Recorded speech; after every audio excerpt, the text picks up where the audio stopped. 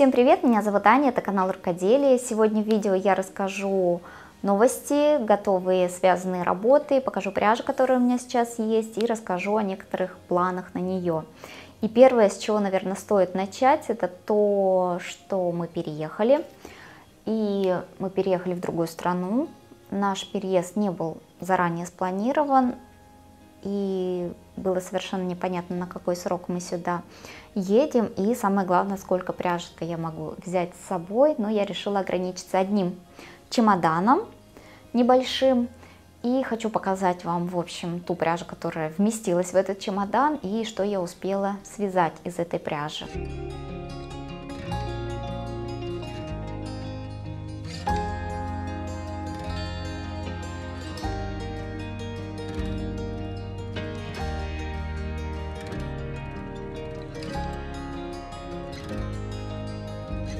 Итак, мы находимся в Турции, и особенность жизни здесь такова, что очень жарко летом и довольно прохладно, и даже холодно зимой в домах, поскольку в городке, в котором мы живем сейчас, нет центрального отопления, а электроприборы не всегда спасают, и дома действительно нужно одеваться очень тепло. И в соответствии с этими условиями и будет складываться мое дальнейшее вязание. И первое, что я связала, когда мы приехали, и было действительно очень холодно дома, это вот такой вот детский худи. Я уже неоднократно вязала эту модель. Это самолетиковое худи по описанию Катерины Радимовой. Я вязала и взрослым, и детям из разных пряж. В этот раз я взяла пряжу Cotton Merino от Drops. Здесь у меня около 6 мотков на возраст примерно 3 года. Так, следующий я связала вот такой кардиган. Вязала, начиная от рукавов к центру, по спинке шивала трикотажным швом. В общем и целом я ориентировалась на описание Маргариты Тереховой «Поперечная полосатица». Но в оригинале это джемпер с округлым вырезом, у меня это кардиган с V-образным вырезом и небольшие корректировки еще по ходу вязания я делала, конечно же. Как видно, здесь у меня использовано три цвета, это три разные пряжи. А здесь у меня полоски разной толщины, расположены абсолютно хаотично. Я вяза, фантазировала по ходу вязания и добавила еще изнаночных рядов для придания большей фактуры полотну. По пряже здесь у меня три цвета, повторюсь, грубо говоря, желтый, голубой и цвет айвори. Голубой это пряжа Line от Sandnes Garn, желтый это пряжа Bell от э, Drops. И ранее у меня из этих двух пряж были связаны топы. Показывала их, по-моему, в видео с готовыми работами за 18 год, за лето 18 года. И в тот год, когда я их связала, я их носила но в дальнейшем мне показались они не совсем удачными, потому что оба эти топа были связаны достаточно плотно. Один был лицевой гладью, другой с имитацией резинки. И вместе с тем они были довольно открытыми. В общем, поводов для их э, носки я находила все меньше и меньше, поэтому решила их распустить и пустить в нечто иное. Я сюда использовала все остатки, все хвостики, чему очень-очень рада на самом деле. Мне кажется, для таких достаточно толстых летних пряж хорошо вязать либо использовать либо ажурные узоры в топах, либо вязать что-то более закрытое. В футболке может быть джемпера, либо кардиганы. И третья пряжа это бобинный хлопок – тоже как-то показывала вам бобинку в покупках. Вязала я из этого же хлопка джемпер ажурный, рыжего цвета. Очень многим он тогда понравился. Но я была не очень довольна как в процессе вязания этой пряжи, так и в процессе носки. Но почему-то я думала, что в другом цвете, может быть, эта пряжа лучше себя ведет, но чуда не произошло. И видите, как после стирки очень сильно планка растянулась. И вот здесь вот появились такие вмятины, не знаю, как их назвать. В общем, выглядит это не очень прилично, на мой взгляд. Если будет настрой, я перевяжу планку, сделаю, может быть, здесь большее количество пуговиц. И у меня здесь получился довольно глубокий вырез. Может быть, его чуть уменьшить стоит. Но пряжи у меня не осталось ни желтой, ни голубой. У меня здесь все извязано в ноль. И даже вот по спинке желтого маловато оставалось. И здесь так много голубого цвета. Но все равно, мне кажется, задумка достаточно удачной. Но вот с планкой что-то нужно решать.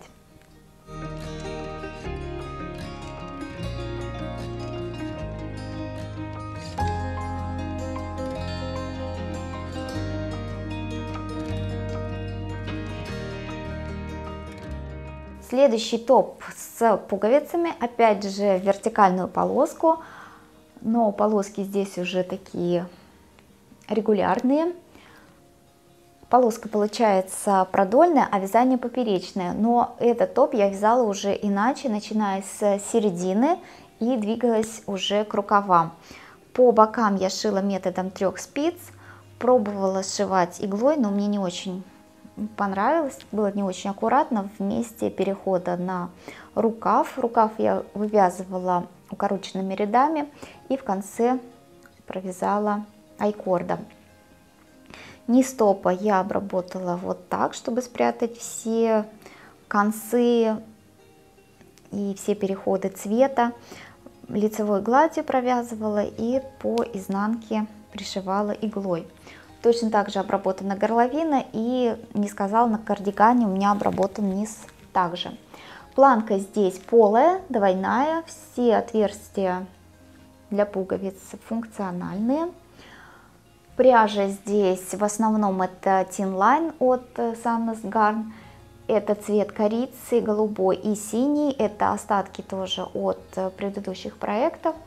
А вот этот цвет Ivory я добавила сюда для придания большей фактуры. То есть это нить с эффектом фламе, то есть с утолщениями. Если в кардигане фактура была за счет э, изнаночных рядов, то здесь мне хотелось именно таким образом поступить.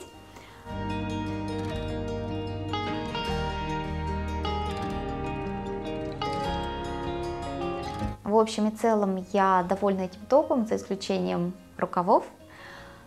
Мне кажется, такой крой не самый актуальный на сегодняшний момент. В идеале я бы здесь сделала небольшие вточные рукава, но у меня совсем не осталось пряжи вот основного цвета и голубого. Но в целом топ пока что выглядит вот так. Если я соберусь его как-то переделать, то обязательно вам расскажу об этом. И в целом, когда я показываю вам изделие, мне бы хотелось, чтобы вы вдохновились, может быть, и иногда мне пишут, что вдохновившись моими изделиями, связали нечто подобное, и я поэтому и рассказываю о том, что у меня получилось и что не получилось, и о том, что я бы исправила в конкретном изделии, чтобы не совершали моих ошибок, допустим, то иногда пишут, что я слишком критична к своим изделиям, но это совершенно не так.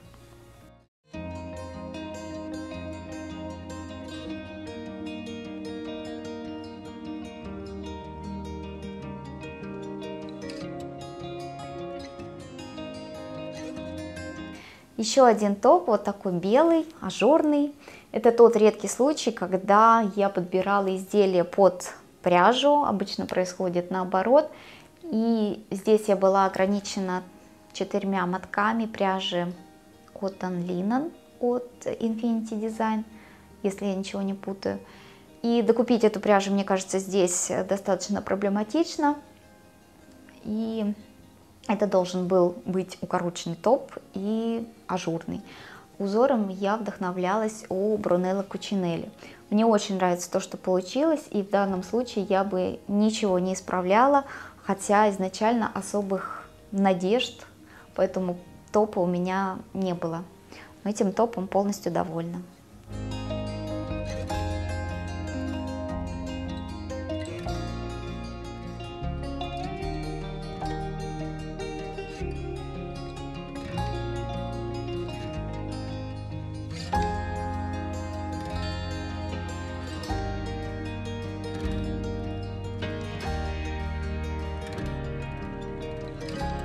Давайте приступим к пряже, которая у меня сейчас есть. И если я знаю производителя и артикул пряжи и не озвучила его, то значит я подпишу. Если я не подписала и не озвучила, значит эта информация уже утеряна, но самое главное для меня это знать состав пряжи, а остальное вторично. И давайте начнем с бобин. Первая бобина, вот такая красивая голубая. Это в основном меринос на 80% и по 10% кашемир и шелк. Из подобной пряжи я уже вязала дочери джемпер. И я планирую связать тоже какой-то джемпер, либо свитер. Единственное, что это, конечно, меринос, он достаточно резиновый и тяжеленький. Здесь у меня порядка 600 граммов. Следующая пряжа вот такая, зеленая. Честно говоря, когда я заказывала в интернет-магазине, я ожидала получить совершенно не такой цвет. Я думала, что это будет нечто неоновое, но пришла вот такая пряжа. Хотела связать что-то детям, но до сих пор не связала. Это хлопок и полиамид, по-моему, в соотношении 60 на 40. Здесь порядка 400 граммов. Вот такой тонкий бобинный хлопок. Я, по крайней мере, надеюсь, что это хлопок. Мне как-то перепало две большие бобины, около килограмма каждая, вот такого цвета. И я отмотала себе вот столько, это примерно 600 граммов на изделие. Образец я связала в 6 нитей на спицах номер 3,5 и в 4 нити я не готова вязать пока на более тонких спицах. И мне бы хотелось связать джемпер, может быть, с воротником пола себе, что-то дочери и, может быть, даже сыну, но в настоящий момент у меня есть только на одно изделие. Еще один артикул пряжи, это Мерина Кот от Лана Гата, у меня есть как в бобинном варианте, так и в моточном. Хотелось бы мне связать какие-то джемпера в полоску, мне кажется, симпатичное сочетание в такой осенней гамме. Это хлопок с мериносом примерно пополам. А из этого цвета мне бы хотелось связать шапку сыну. Этой пряжи у меня около 900 граммов, около, потому что я забирала уже где-то остатки с бобин. И также у меня есть несколько мотков от пряжи Drops Cotton Merino. Их можно будет добавить в качестве полос к этим джемперам. Пряжа Анна 16 от Siam. У меня два мотка, планировала вязать топ крючком, но, видимо, уже в следующем году. Это бобинная пряжа, хлопок со льном примерно пополам, тоже хотела использовать на топ крючком.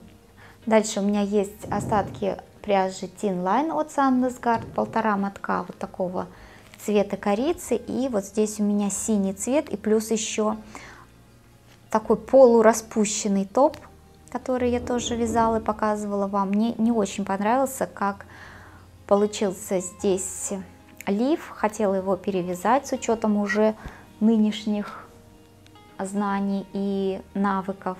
Но не знаю, может быть распущу полностью и свяжу что-то другое. Из носочной пряжи у меня есть один моток Lana Grossa Mylene White Tweed и три мотка пряжи Nord от Drops. Также у меня есть остатки вот такие небольшие. Бежевый это Alize Superwash и неоновый желтый это опал. Хотела добавлять куда-то в другие носки. Из носочной пряжи у меня все. Здесь есть возможность купить пряжу Alize носочную, поэтому я много пока брать не стала.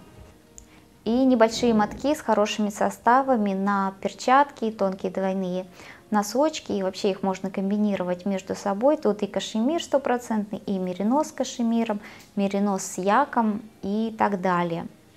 И последнее, что я хотела вам сегодня показать, это вот такая рафия. Вообще-то она в пасме, я ее перемотала в такой клубок. Это бумажная рафия.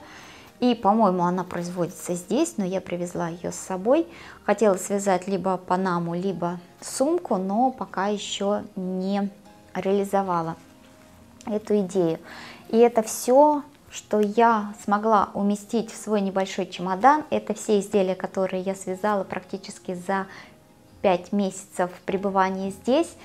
И я не знаю, будет ли у меня возможность в этом году съездить за еще одной небольшой партией пряжи к себе домой, потому что у меня дома много пряжи, много хорошей пряжи с хорошими составами, бобинной пряжи. Мне бы хотелось из них тоже вязать, но, по крайней мере, той пряжи, которая у меня сейчас есть, мне хватит на ближайшие полгода, потому что вяжу я крайне-крайне медленно. И здесь, конечно же, тоже продается пряжа, но она в основном турецкая. И ничего не имею против нее, но хотелось бы заиметь хорошие бобинки с хорошими составами, которые у меня уже есть, но находятся они в другой стране. Я надеюсь, что вы вдохновились тем, что я сегодня вам показывала. Вам понравилось это видео. Если так, лайки приветствуются, комментарии пишите. Увидимся с вами в других видео. Всем пока!